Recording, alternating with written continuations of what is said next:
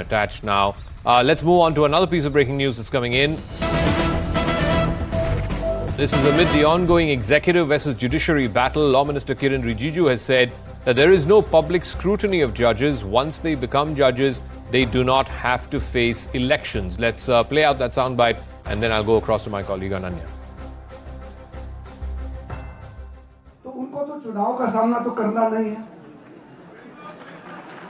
जजों का तो ऐसा है कि उसको पब्लिक स्क्रूटनी भी नहीं कर सकते हैं तो इसलिए मैंने कहा कि जितने जो जजेस होते हैं आप जनता आपको नहीं चुनते हैं इसलिए जनता आपको बदल नहीं सकते हैं लेकिन आपको जनता देख रहा है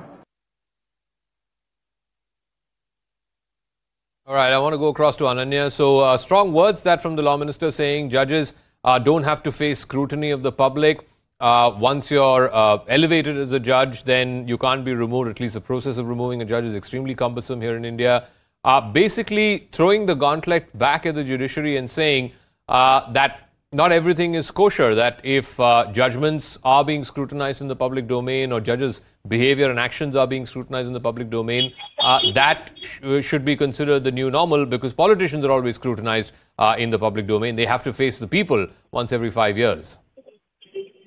Well, definitely, Zaka, you know, this debate is escalating day by day. We are seeing how both the sides, whether it's the executive or the judiciary, they are uh, uh, attacking each other with uh, with a war of words, escalating every day. Uh, now, today also, uh, the law minister has come out and, in fact, said that, um, that the judges are uh, are not ones who are scrutinized. they're not like the politicians who have to face elections every month public is watching the judges, their judgments, and the way they deliver justice and make their assessment is something that is uh, in the eyes of the public, and especially in the times of social media, everything is being analyzed. In fact, uh, uh, you know, uh, this is escalating the whole debate that is going around uh, the center and the the the, uh, the, judiciary over the judicial appointments, and all of these attacks actually began on November 7 when this whole debate was escalated by, uh, in fact, initiated by the law minister who was speaking at Samvedna Samvad in Gujarat and said that the collegium system is opaque in nature.